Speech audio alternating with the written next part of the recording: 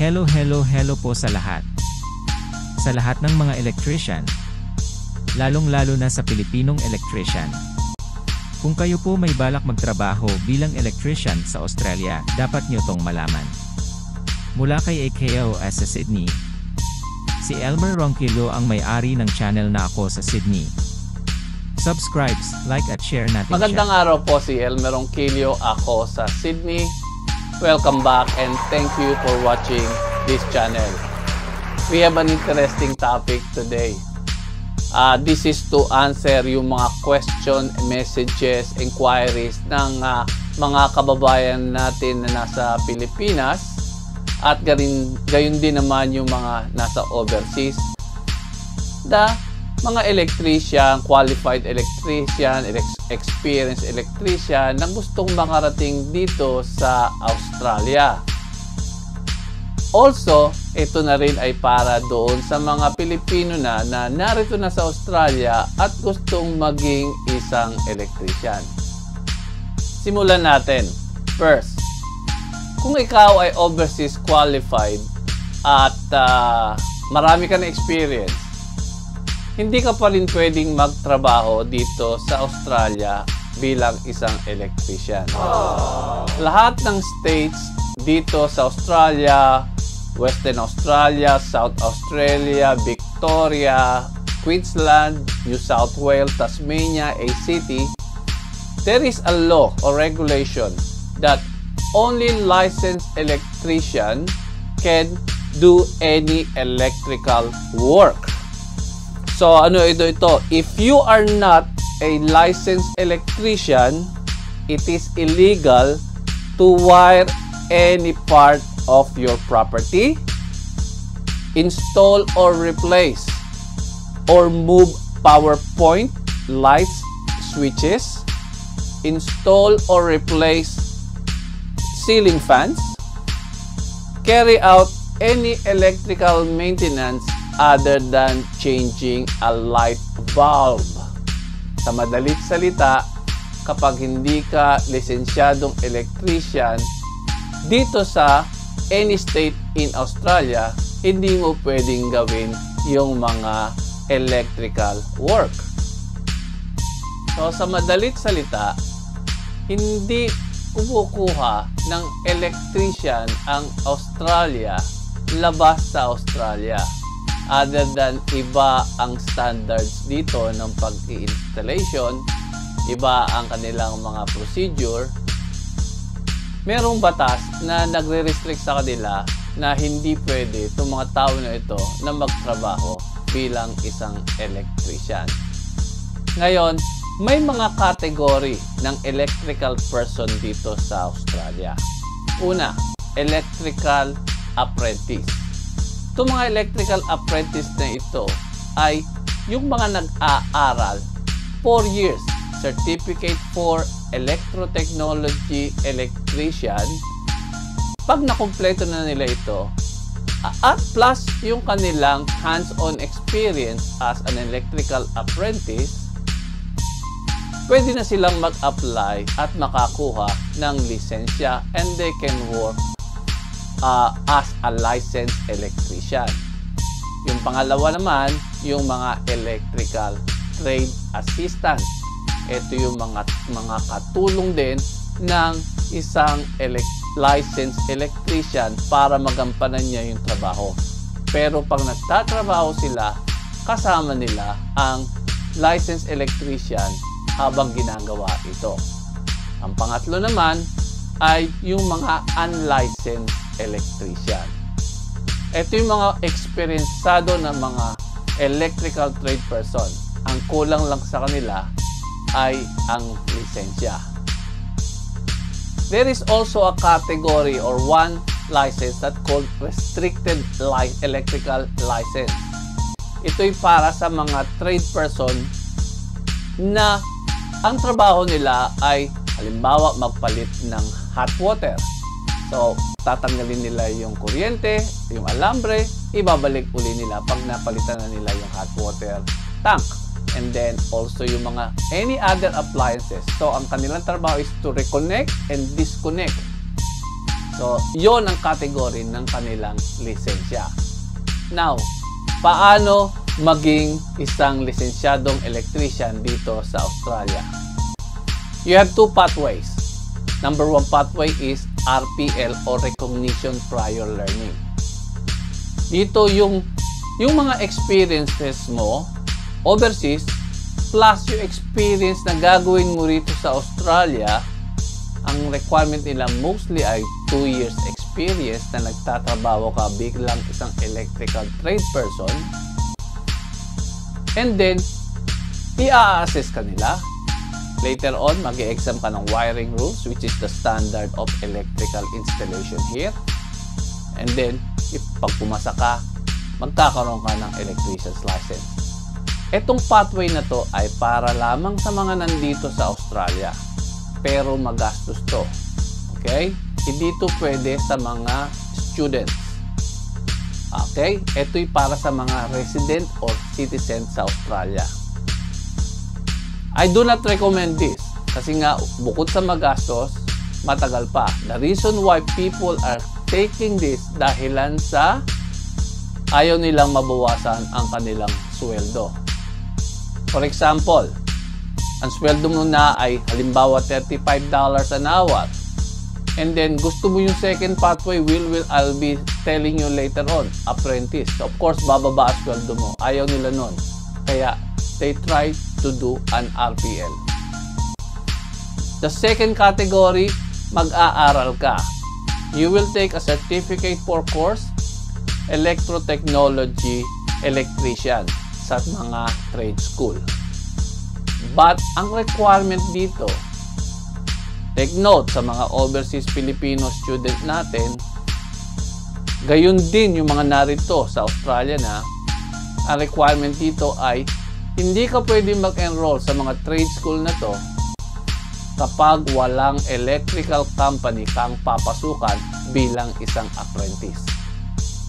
Ang category ng apprentice, apprentice 1, yung first year mo bilang apprentice. Then 2, your second year, apprentice 3, and then apprentice 4. Tatlo, ah, sorry, apat na araw ka sa, sa pagtatrabaho, one day ka lang sa school. This is a 4-year course. And then yung pagiging apprentice 4 mo ay full-time ka na sa pag sa iyong kumpanya kung saan ka nag-apprentice. Now the question is, magkano ang sweldo ng apprentice? Ang apprentice ay may dalawang kategory pagdating sa sweldo. Yung adult na under 21 years old at yung over 21 years old. Sa apprenticeship, apat nga na taon, no? Apprenticeship 1, Apprenticeship 2, Apprenticeship 3, Apprenticeship 4. So, iba-iba ang mga sweldo nila. Apprenticeship 1 sa mga under 21 years old, $14 lang yan an hour. Hanggang maging apprentice 4 ka naman, $20 an hour. Sa mga over 21 years old, mag start ka naman ng $21 at matatapos ka ng $22 sa fourth year. Ito ang dahilan kung bakit yung mga existing nating mga qualified na, na, na trade person o yung mga gustong magkaroon ng lisensya ay ayaw pumasok sa school at dumaan ng apprentice. So kung ang sweldo mo ay $35 an hour, bababa ka ng $21, you just say no. Ayoko na magkaroon ng lisensya. Magtatrabaho na lang ako sa existing na trabaho ngayon dahil sa cost of living. Marami kang binabayaran. Kaya hindi na nagkakaroon ng pagkakataon itong mga tao na to para maging isang licensed electrician. Sana nakatulong ako sa mga nag inquire o sa mga gustong maging isang lisensyadong electrician. So, sa muli, kung meron po kayong katanungan, uh, mag-comment lang po kayo at I'll try to answer that. Maraming salamat sa panonood. Harinawa nakatulong tayo. I'll see you in my next video. Ito po muli si Elmer Ronquillo. Ako sa Sydney. Yes! Magandang araw po muli. Si Elmer Ronquillo, ako sa Sydney. Welcome back muli sa ating channel. Pag-uusapan naman natin ngayon ang pagiging isang electrician dito sa Australia. Alam po ninyo, ang isang electrician dito ay well-paid job, mataas ang standard sa safety, at you're being always taken care of by your employer. Isa sa mga requirement ng pagiging electrician ay kinakailangan makapagtrabaho kang mag-isa. So that means kinakailangan licensed electrician ka dito sa for example sa New South Wales at sa iba pang mga state. Kinakailangan licensed electrician ka para makapagtrabaho ka mag-isa. Kapag hindi ka licensed electrician ay hindi ka pwedeng magpalit man lamang kahit ng isang power outlet dahil hindi ka lisensyadong electrician. Bawal yon.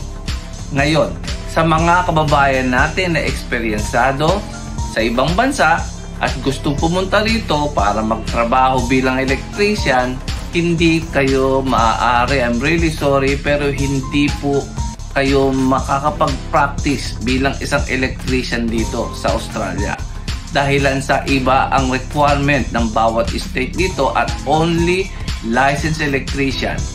Bakit ka mo licensed electrician ang kailangan? Una, for insurance purposes. Kinakailangan ang nagpapatakbo ng cable, ang nagpapalit ng mga power outlet, naglalagay ng mga ilaw, ay lisensyadong electrician.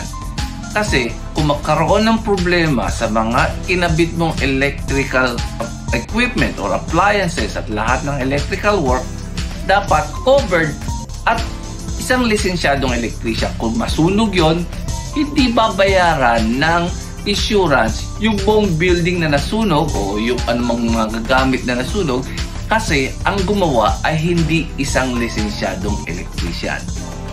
Pangalawa, yung lisensyadong electrician kaya niyang magtrabahong mag-isa So he can work on his own. Hindi mo kasi pwedeng magpadala ang isang kumpanya ng dalawang tao sa isang trabaho na pwede namang gawin ng isang tao. Tataas ang bill ng kliyente. Pangatlo, safety.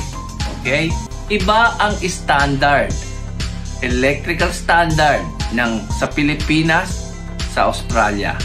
Sa Australia, for example, ang electrical standard namin sa mga wiring dito is iba ang mga color o kulay ng mga cables sa uh, mga appliances Ganon din naman sa mga hardware, yung mga nasa loob na cable na nasa loob ng mga building at ng mga kisame.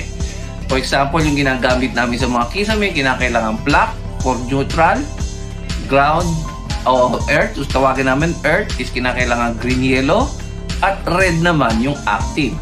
Sa Pilipinas, kahit na anong kulay, pwede mong gamitin. Kasi ang, doon sa atin sa Pilipinas, ang ating voltahe ay 220 volts, 60 Hz. At ang supply is line to line.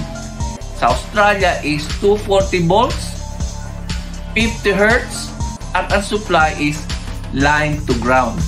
Ang isang line sa Australia is already 415 volts. Kaya pag inert mo yung 415 volts, magiging 240 volts. Okay? So, ganito sa Australia. So, sa madalit salita, iba ang standard. O, balik tayo dun sa kulay. Sa mga portable na appliances, yung mga sinasaksak na appliances, di ba may plug yon? Ang ginagamit na kulay doon ay brown para sa active, blue para sa uh, neutral, at of course, yellow-orange para doon sa earth.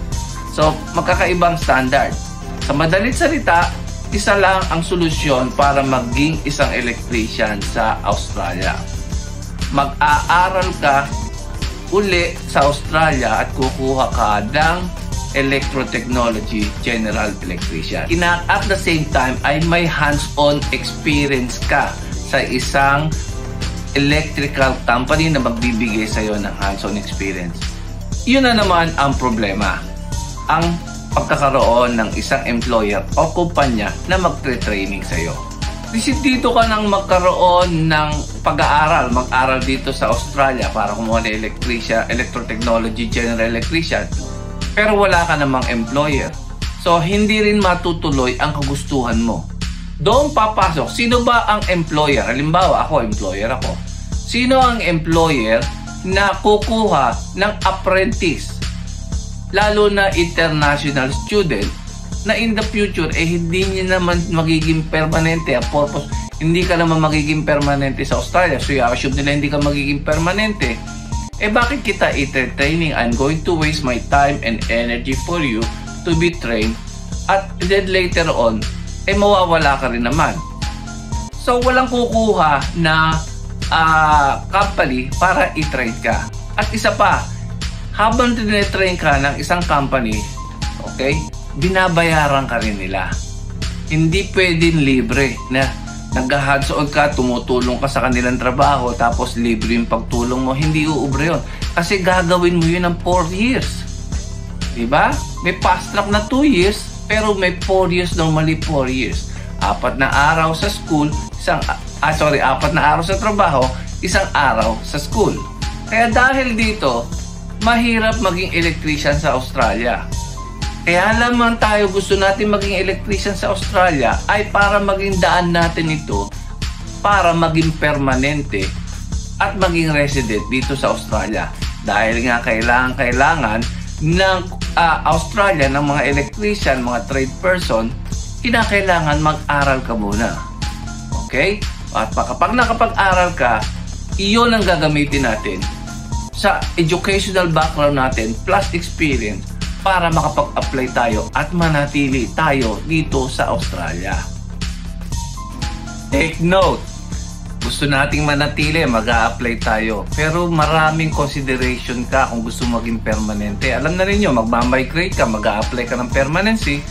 So pag-aaralan mo, kinakailangan education background, kailangan, ito yung mga sumusunod na kailangan, education background, uh, age, okay? Yung communication mo, English communication mo, So, may mga requirement pa. Ngayon, kung tayo eh, experience abroad, tapos eh, medyo may edad na tayo na pupunta rito, eh, eh, useless lang na mag-electrician ka, useless lang na mag-aral ka. Kasi baka hindi ito mag-lead sa permanency kasi yung age factor na ang kalaban natin. Kaya kung bata ka pa lamang, nasa Pilipinas ka, that's the chance mo na pumunta ka rito sa Australia para mag-aral ka. So, Tingnan mo dahil apat na taon ang pag-aaral na gagawin mo para maging isang electrician, kaya ka naman kumukuha ng electrician, take to dahilan sa ito ay magandang pathway para maging permanent resident ka sa Australia.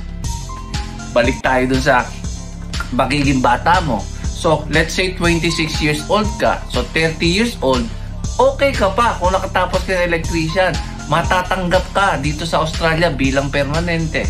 Kasi nandun ka pa rin sa pointing system at nakukuha mo pa rin yung maximum points pagdating sa age. Yung mga dati kong video na kung saan nag-hire ako ng isang uh, international student. Ang purpose ko lang noon is to provide opportunity dito sa tao na to, si Ray, para maging uh, isang permanent resident dito sa Australia. Pero Luckily, nasa New Zealand na siya. Ngayon naman, meron akong tinanggap ngayon na bago, si Mark, na nurse, na gusto mag-change ng career. Okay?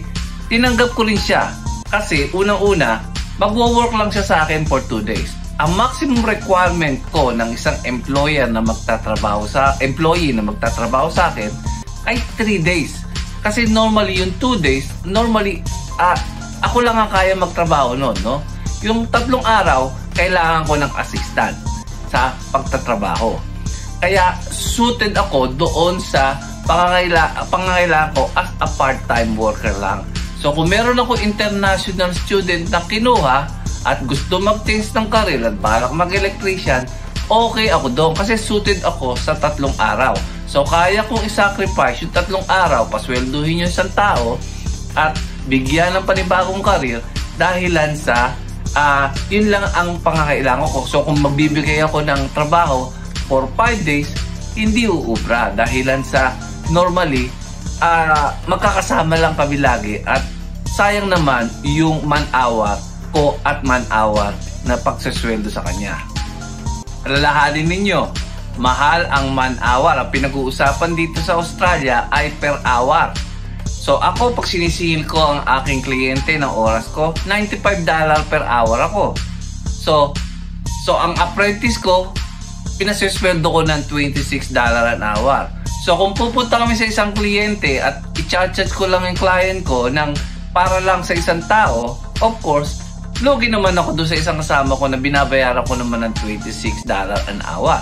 So kaya normally, um, kinakailangan, i-schedule ko, ino-organize ko ang sarili ko na dapat pagdating ng Thursday, Friday kung saan naroon sa akin si Mark, ay suited job para sa two persons job.